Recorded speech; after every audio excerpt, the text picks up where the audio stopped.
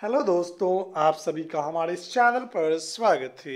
आज के इस वीडियो हम जानेंगे कौवा को संस्कृत में क्या कहते हैं, कौवा का संस्कृत क्या होता है।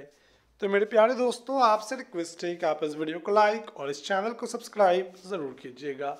कौवा को संस्कृत में वायश और धवांश कहते हैं।